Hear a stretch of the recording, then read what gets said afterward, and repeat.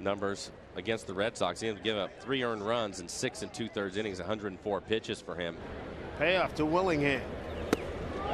Take strike three call. A big one for Blake Beavan. One out with the bases loaded. 0-2 here. Strike three call. Payoff pitch. Center field. Guti got it. Inning over. Run on the board for the Oakland Athletics. A run on one hit.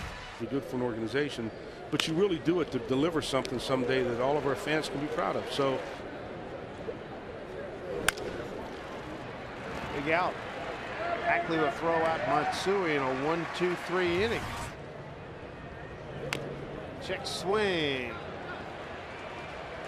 Beavan throws. Smoke and that'll do it. That is six in a row retired.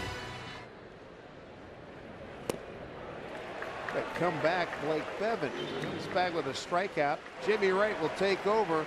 Have to be proud for Blake Beavan who gets a really nice hand from the 23,335 here at Safeco Field.